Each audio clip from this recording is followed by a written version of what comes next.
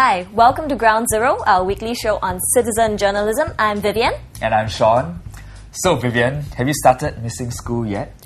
Not at all. Rushing out, asinine assignments, eating poor excuses for food, traveling for eternity on the MRT in peak hour crowds every single morning. Okay, okay, I get the picture. Yep, and I'll bet you the students at Yio Chu Kang Secondary School won't be missing the school system anytime soon as well. Hmm. Stomper Buntok informed us of how all students have been asked to contribute $50 to the school's 45th anniversary celebrations.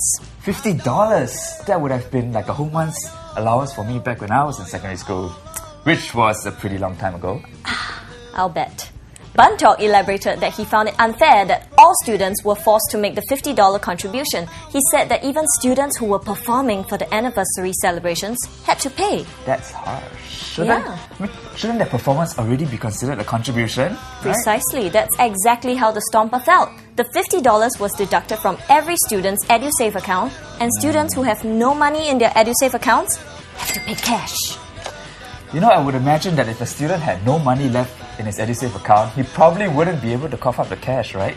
Yeah, he can't be very rich, you know. In the school's letter to the parents, the letter read To achieve a high standard of productions for this musical, we have invested heavily in engaging the expertise of various specialists and vendors in training the students.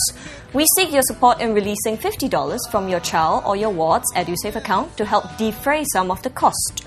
$50 per student seems like a lot, especially when you consider that the school fees in secondary schools are like what, $20 a month? $22 for public secondary schools, according to the MOE website. Many Stompers' comments echo your sentiments. Stomper James, James.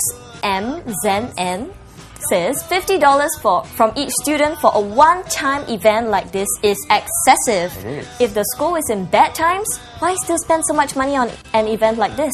If it's $5 or maximum $10, it's still okay. Yeah, I also think that the best thing to do is to make contributions optional. I remember my school would ask for donations from parents for major school celebrations like anniversaries, and it's not obligatory, you know? Mm-hmm. But families that are more well off can donate more, while others can donate just whatever they can. Makes sense. Forcing a $50 contribution, I mean, from every single student is pretty unfair to me.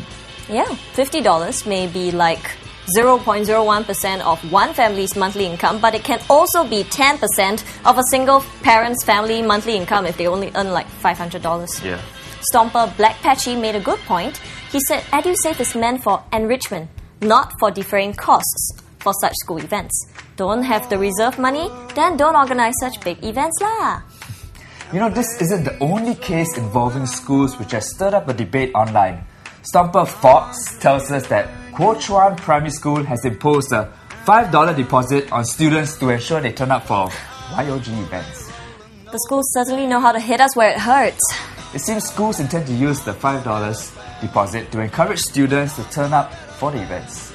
Students will get the $5 deposit back when they show up at the YOG events. Ah, that is certainly an incentive to attend the games. I wouldn't want to lose $5 just like that. Stomper Ducky's Duck finds it ridiculous. This kind of event should not be compulsory for students, especially on Sundays, our precious Sundays, right? Mm. I mean, it's like the only day students have time to relax and spend time with their family. Plus, why do they have to pay and be forced to go if they don't want to go? On the other hand, Stomper TKS argues, I think the school is being responsible to implement measures to ensure that those who take the tickets turn up. Otherwise, we will see many more empty seats, even though all tickets are sold out.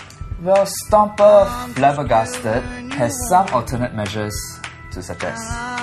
There are many different approaches. I consider this as forced approach. Instead, they could reward those people who went in different ways like rewarding CCA points or free meal and not ask for money like some beggars. One is the approach of using a carrot, and the other is using the stick. I guess they both have their effectiveness, right? Yes, but the school's chosen to go with using the stick. So let's hope all the students show up and get their money back. In the next clip, we move on from food to one man's trauma in an all-male sauna. Yikes.